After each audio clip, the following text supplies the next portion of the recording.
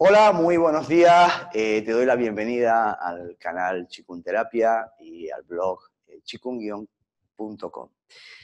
Eh, hoy, hoy tenemos una entrevista muy especial. Hacía tiempo que, que no andaba con, con, Gustavo, Gustavo Villar, y Gustavo Villar nos va a hablar hoy de algo, algo muy bonito, ¿no? Algo que, bueno, supongo que algún día quizás haga yo, no lo sé, pero obviamente tan, tan fluido y tan, tan bien escrito me parece que no.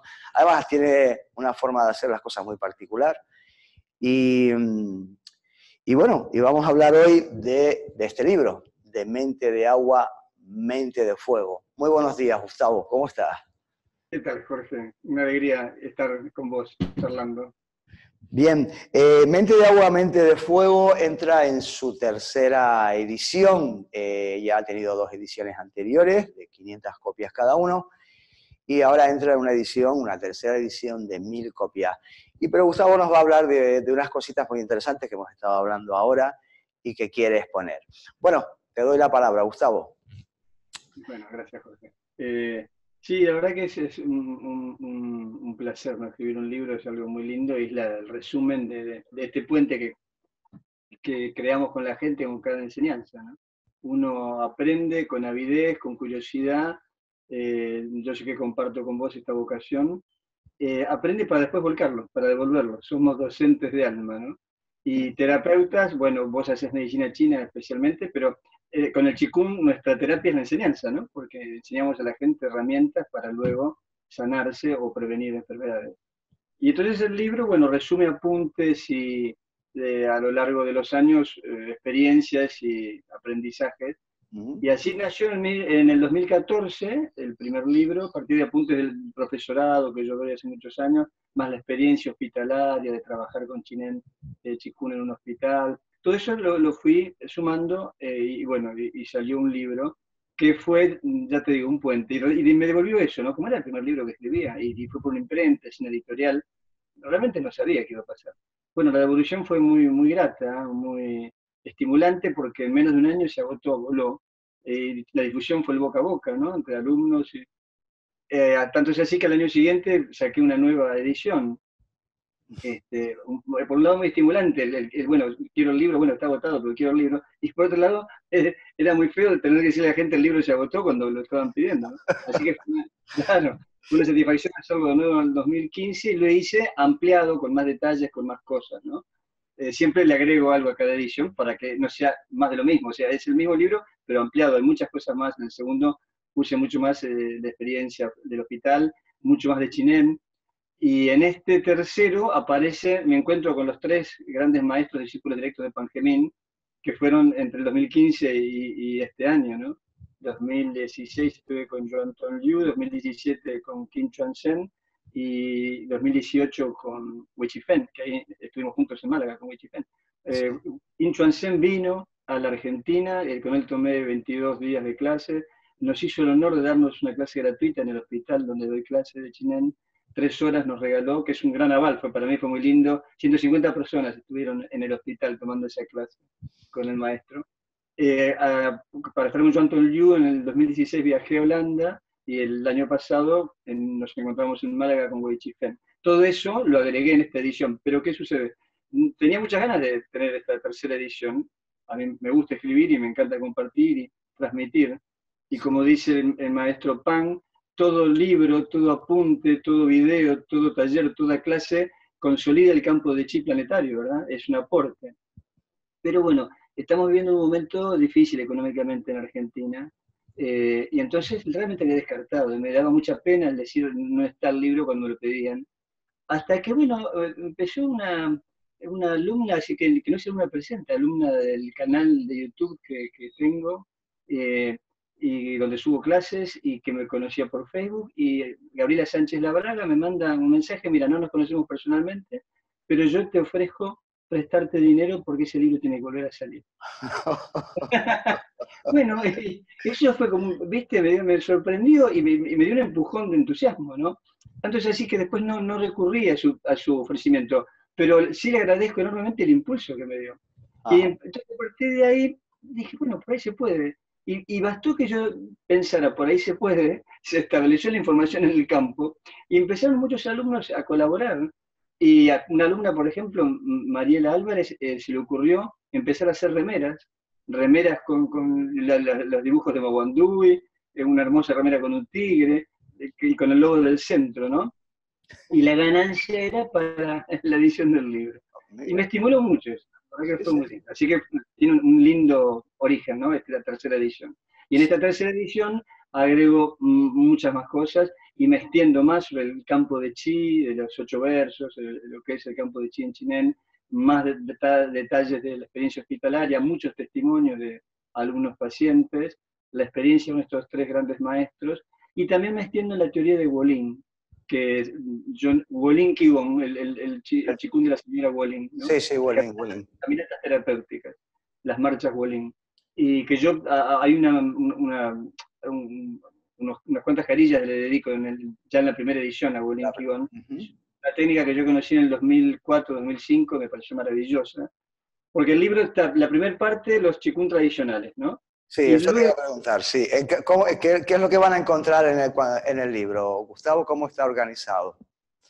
Bien, empieza eh, contando, es decir, introduciendo al, que eh, no es eh, conocedor de esta temática.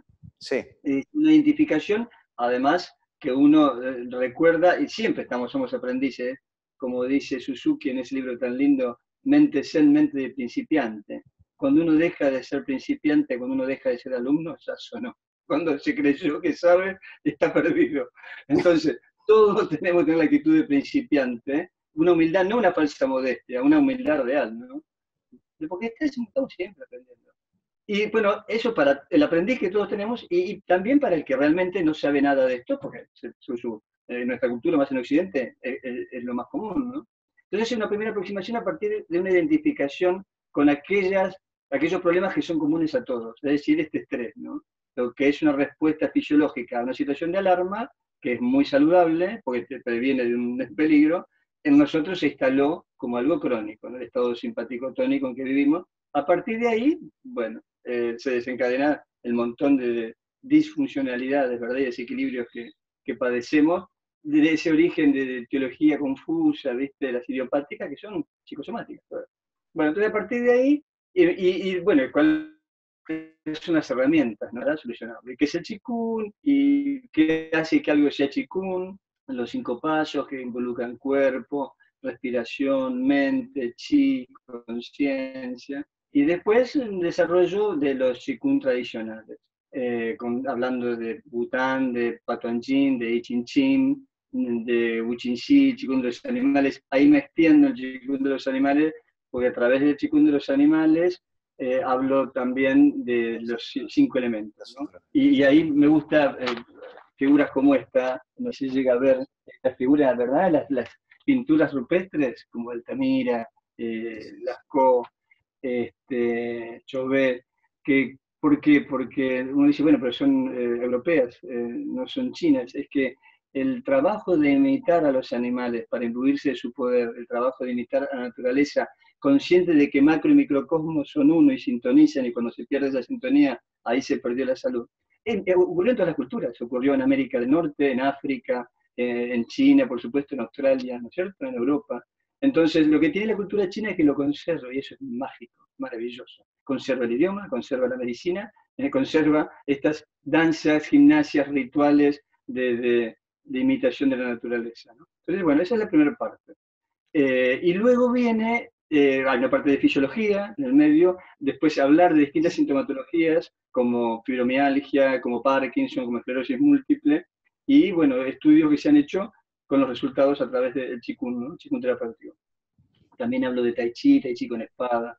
Hay un reportaje, una charla con un alumno guitarrista que cuenta cómo el, el, Tai Chi llegó para mejorar su, su trabajo con la guitarra, es un gran concertista que ahora vive en Barcelona y está haciendo una gran carrera.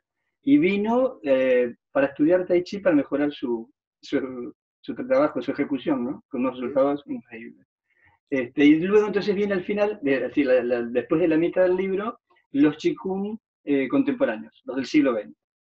eh, que siempre me interesaron, siempre me parecieron maravillosos, y cuando empecé en 2014 a dar clases gratuitas en el Hospital San Martín de la Plata, me surgió la necesidad de profundizar en, estos, eh, en estas técnicas, porque era lo que me pedía ese trabajo, porque ya no son esas, eh, esos trabajos para monjes de hace 1500 años que entraban a los cuatro años en un monasterio y dedicaban su vida a eso, sino que son para gente contemporánea, gente que empieza a los 40 años, que no tiene ni idea de lo que es el I de lo que es el Pacuá, de lo que es los cinco elementos, ¿no es cierto? Y que tiene dificultades y, no respira bien y no come bien y tiene un, estrés terrible.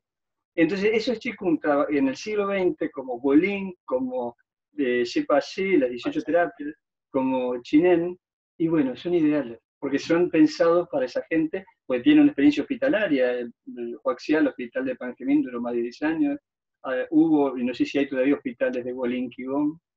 Este, así que bueno, ese es un poco el desarrollo, ¿no? el libro y testimonios de los alumnos a lo largo del Yo, eh, bueno, yo recomiendo este libro a las personas que, que, son neófitas, porque obviamente tienen un escaparate impresionante de lo que es el Qigong y el Tai Chi Chuan, bueno, el Tai Chi Chuan que tú, que tú practicas, pero también lo recomiendo a personas que, que ya estén versadas en el tema, porque siempre yo he encontrado muchas cosas que, bueno, que de hecho las utilizo, o sea, que, que a mí me, me, ha servido. O sea, es un libro donde vuelca Gustavo su experiencia, ¿no? Donde vuelca tu experiencia. Y creo que no solo eh, no solo para personas neófitas, que para ellos es ideal. Es muy difícil recomendar un libro de Chikung. Yo me dicen, oye, ¿qué libro me recomiendas? Y yo también vengo de donde vengo y me veo ideas que no están bien, que no las veo bien, puntos que no están localizados, funciones que para mí no son correctas, en fin, muchas cosas. Pero este libro es, es eh, perdona la redundancia, es un libro abierto. O sea, vas a tener un escaparate hasta te digo, vi el, Shibashi al final, el, de la señora Gouli, ¿no? El, del paseíto, ¿no? Que me encanta, ¿no? Y, y el Chinen como contemporáneo. Eh, para ayudar a una persona, eh, Gustavo, eh, que ya está entrada en una patología crónica, ¿no? Tipo diabetes o cualquier enfermedad autoinmune que ahora están en boga, o un cáncer, ¿no? ¿Qué parte del Qigong recomendarías, Gustavo? Muy buena pregunta. Eh, sobre todo los, estos modernos del siglo XX. Vos sabés que una cosa interesante ha ocurrido. Eh, yo hace unas dos, tres semanas subí una conferencia que da un maestro chino en Francia. Está en francés, ahora una alumna que es traductora de francés lo está traduciendo para nosotros. Algo se entiende y hay eh, carteles en, en, inglés. Este, pero bueno, es un coloquio donde habla este eh, profesor chino eh, para un, ambiente, es una audiencia con un gran, porcentaje de académicos de la salud, eh, del sistema Wolin, que se llama el Wolin Chikun, es el, también se lo conoce como el Shishihu, o la respiración del viento, ¿no? Shi es inhalar, Hu es exhalar, es Fong Hu Shi, Fong viento, ¿verdad? la respiración del viento. Y hace referencia a esto, que es el, corazón de la técnica, de la columna vertebral, que es el Shishihu. ¿Por qué? Porque, exacto, pone el énfasis en la inhalación. Son dos inhalaciones por una exhalación. ¿Qué ocurre con eso? Que se oxigena el medio interno, que se combate la hipoxia y se alcaliniza el medio interno, eh, que por nuestro modo de vida, por el estrés, por nuestra dieta desbalanceada, se tiende a acidificar. Y lo que dice en esta conferencia este maestro chino cita el trabajo de tres médicos, eh, uno de Inglaterra y dos de Estados Unidos, creo, donde hacen un estudio sobre la hipoxia y, cómo favorece el, desarrollo y la agresividad de ciertos tumores. Es decir, las células tumorales tienen un metabolismo exacerbado y requieren oxígeno. Requieren oxígeno porque crecen, eh, por supuesto, son outsiders del sistema orgánico, hacen su propio camino y, y, ajeno a todo lo demás y creando grandes eh, dificultades y hasta desarrollan defensas contra los sistemas, el sistema inmune, ¿no? que, que las la descubre como, como agentes extraños y los va a atacar. Pero bueno, si el sistema inmune está bajo, por todas estas cosas que habíamos dicho, por una cuestión de acidez, por una cuestión de estrés, etc., eh, las células tumorales crean defensas que a veces logran mm, eh, salvar este ataque y, expenderse, ¿verdad? Y estos tres médicos lo que descubren es que, y hacen eh, sobre eso versa su, investigación, que eh, cuando hay una hipoxia, las células sanas eh, mueren, ya no pueden sobrevivir. En cambio, las tumorales hasta se fortalecen y ganan agresividad. Entonces, un ambiente ácido y con hipoxia es muy nocivo para el organismo y muy favorable para estas células. Pero lo interesante de esto es una explicación científica de, de, la, de esta respiración del viento de la maestra Bolin, eh, que la creó para sanarse. La maestra Bolin nació en 1909, del siglo XX, y más o menos en el 49, cuando andaba rondando los 40 años, eh, bueno, se le detona un cáncer de útero, pasa por seis intervenciones quirúrgicas y es desahuciada por la medicina alopática y la occidental. Entonces ella entra en la década del 50 eh, con un, digamos, un dictamen, una, una, una tremenda, la habían, no tenía solución para su enfermedad. Y bueno, y recurre al chikung que había aprendido con un abuelo maestro de chikung de chiquita, eh, ella es artista plástica, pero dice, no, no sea por vencida. Bueno, si la medicina me da respuesta, iría al chikung. Y está tan débil que, por ejemplo, el Wichin el chikung de los animales que practicaba de joven, no, no puede hacerlo, está muy débil. Y ahí estudiando y practicando de una forma muy empírica también desarrolla este chikung de caminar y establecer este ritmo repetitivo de marcha y respiración, que en parte se había estudiado cuando era joven y caminaba por la montaña, había descubierto que cierta respiración le daba fuerza, y esta oxigenación que alcaliniza el medio interno. Conclusión, se sana, eh, y, y muere 30 años después de cuando le habían dado 6 meses de vida. 30 años después. Entonces es tan notable que, bueno, en el 71 eh, escribe un libro y empieza, se hace famosa y hay cientos de miles de personas eh, que empiezan a demandarle que comparte esa experiencia, ¿no? Este, y hay hospitales con bullying, pero lo interesante que te quería comentar es que ayer o anteayer le dieron el premio Nobel de Medicina a estos tres investigadores que cita este maestro chino en, el coloquio. Ah, sí. Eh, sí, por la investigación esta. O sea que, bueno, es interesante. Bueno, sería, sería muy interesante eh, leer esos, esas investigaciones. ¿Están en internet o dónde, dónde, dónde las conseguiste? En mi muro de Facebook y... Vale. Eh, sí, está en YouTube, está en YouTube, sí, sí. Eh, vale, sí, vale, vale. Y, a tu pregunta, la respuesta sería Caminatas Bolín, sí. ¿Y el, el chinen, qué te parece? Sí, también, obviamente. El chinen es el que enseño en el hospital por excelencia, sí, fantástico. Es un camino de vida y lo que tiene el chinen que hay un cuerpo teórico muy poderoso, que además de 15 libros escritos por Pangemín, Pangemín es médico, es muy, muy sólido. Es un camino, por eso también en la escuela mía enseño los tres niveles, uno, dos y tres, y profundizamos, es un camino de vida. Eh, pues te voy, a contar, te voy a contar una cosa, porque claro, cuando empecé con mi, eh, mi formación de Tai Chi Chuan, pasé por muchas fases y por muchos maestros hasta que llegó el mister, el maestro Bombo, que así es como le llamo yo. Y eh, curiosamente él viene de tradiciones muy antiguas, más antiguas que el Tai Chi Chuan, estilos muy antiguos, eh, muy internos, que nunca he visto, y solamente se lo he visto a él. Y el, el, trabajo lento está combinado con el trabajo rápido con hiperventilación, doble inhalación por una exhalación.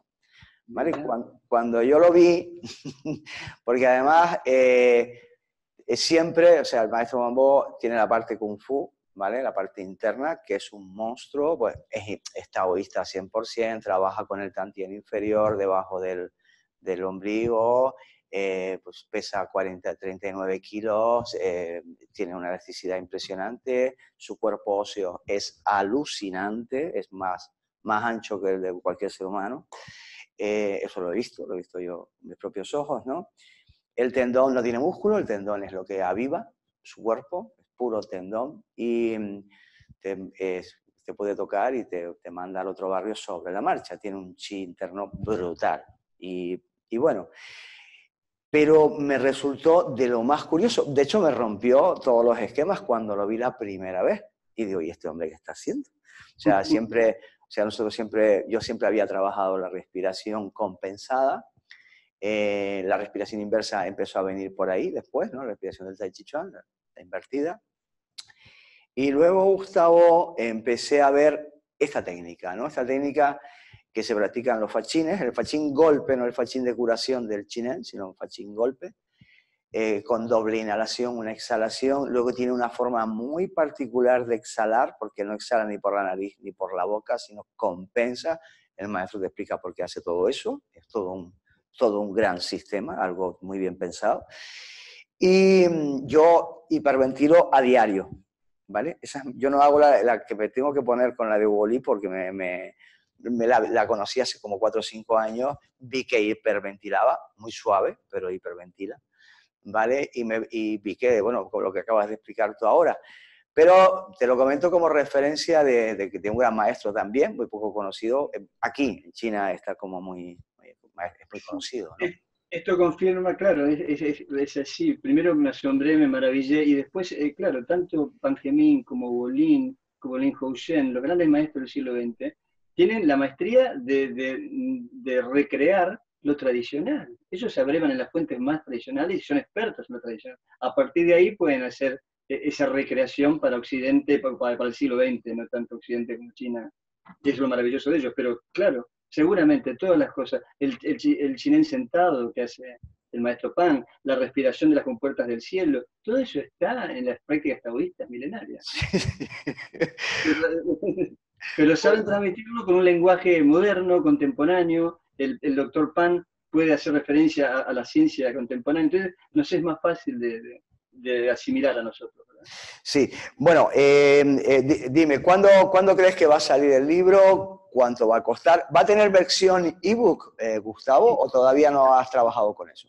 Va a tener, no, sí, va a tener una versión ebook por esto del canal y, por gente que me lo está pidiendo de países. claro, claro, claro, es una gran, es una gran idea, es una gran idea. Eh, ¿Para cuándo tienes pensado que salga la, versión papel y la versión ebook? Eh, fin de octubre y como mucho principios de noviembre, ya están saliendo. Bueno, entonces tenemos un buen regalo para las Navidades. las Navidades.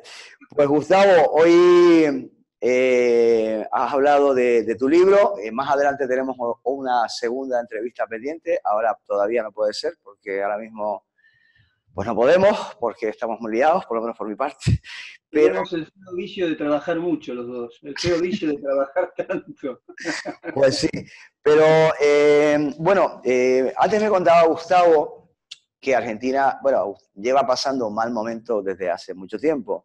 Estuvimos ya en otra entrevista, él me preguntaba a mí lo de España, eh, Argentina sigue siendo un país de referencia, como México, por ejemplo, que para cualquier país, ¿no? Pero para mí pues, son países que, que tienen una cultura innata, un poder innato, y ese poder pues lo han confundido y, y, están liándose, ¿no? En vez de utilizar el chi para crear, utilizan el chi para pelear, ¿no? Y a lo mejor no les queda más remedio, no, no quiero juzgar a nadie porque no estoy ahí, ¿vale? De hecho, yo tengo familia en Buenos Aires, ¿no? Y ahora pues están dedicados a otras cosas, en su momento pues fueron guerreros, ¿no? Como cualquier adolescente con las hormonas puestas hasta arriba. Entonces, em, creo que son países alucinantes, con una cultura alucinante, y creo que, que, que eh, cambiar el foco que ahora voy a leer, con tu permiso, voy a leer una cosita aquí que me encontré, eh, me encontré estos días y creo que es muy interesante. Con tu permiso voy a leer un par de párrafos, ¿vale? En el capítulo 3 se llama La conquista del tigre, ¿vale? Dice lo siguiente. En chino, el término crisis está conformado por dos caracteres. Uno significa dificultad y el otro oportunidad. Hace poco una alumna me estaba que, estaba atravesando la crisis eh, afectiva de una separación ante las consecuencias fisiológicas inesperadas en que derivó su profunda angustia, me comentó, no sabía que mi mente era tan poderosa. La mayoría de las veces cobramos conciencia del poder de nuestra mente desde la impotencia, como damnificados de ese poder, padeciendo las somatizaciones a que nos vemos sometidos. El Qigong, el Tai Chi, la meditación nos muestran el camino para hacernos conscientes de tal poder y hacer de él una herramienta. Lograr que ese animal agazapado que ruge en las sombras, estremeciéndonos, salga a la luz y se transforme en nuestro aliado.